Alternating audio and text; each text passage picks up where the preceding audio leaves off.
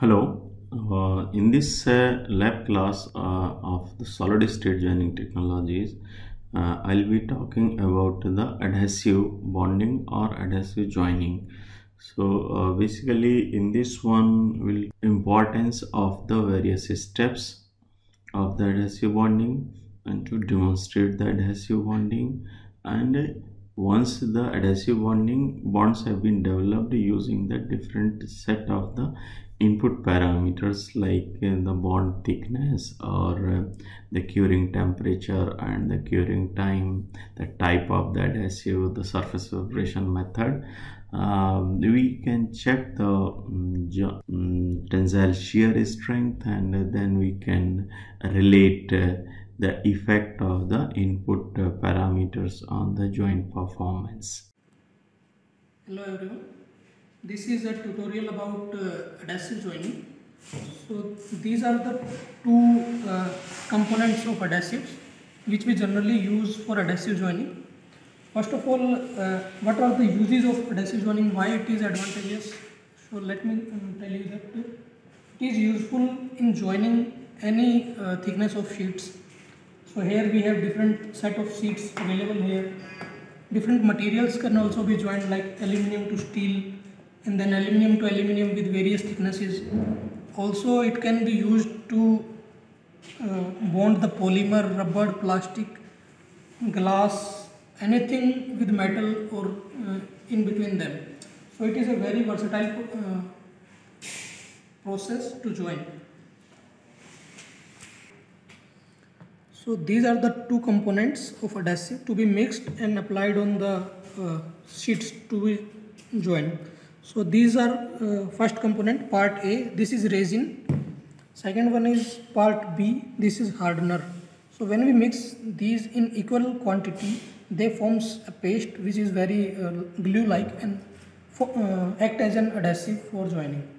So we take equal amount of these two and mix them properly with uh, like quantity should be same of resin and hardener to be mixed properly and act as a uh, adhesive.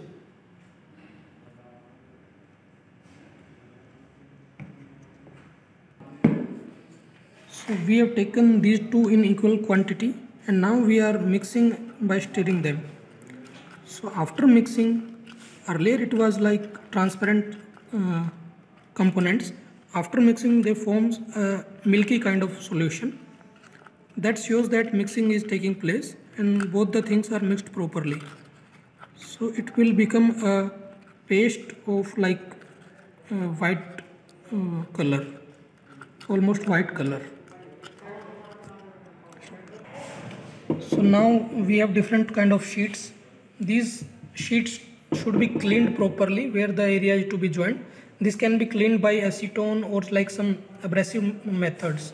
So the area marked here is like marked by marker is acted it can be uh, said as a overlapping area. So this area we are going to apply the adhesive and make it as a overlap joint like this. So that is why it is marked.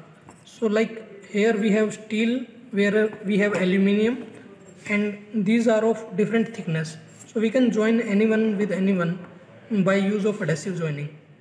So this is uh, the sheet composition. Now we can apply the adhesive over that with a uniform uh, thickness like assuming uh, like 1 mic mm thickness to be applied and it should be applied uniformly on both the sheets to be joined.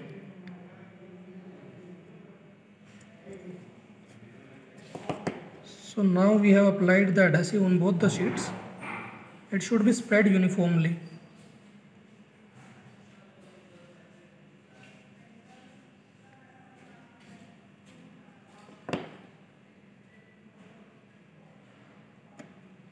So this is like adhesive is applied. Then we can join these like this and whenever we apply some adhesive it need, uh, requires some kind of uh, curing to be done. Some adhesives are like to be cured by thermal uh, processes like they we have to give heat for a certain amount of time. Some adhesives generally uh, cure by themselves. After uh, keeping them in uh, position after a certain time they get cured automatically.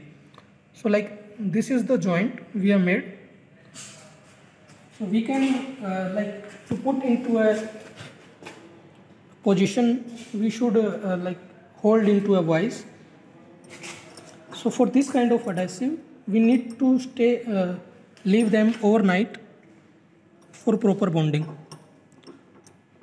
Like we have kept this as like this and it will stay there overnight and the joint will be cured automatically by time itself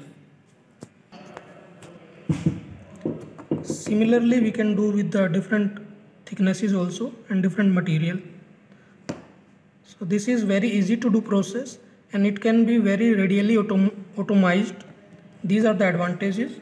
And the load bearing area whatever it is load is uniformly uh, distributed over the surface area when some loading or like loading taking place on the sheets.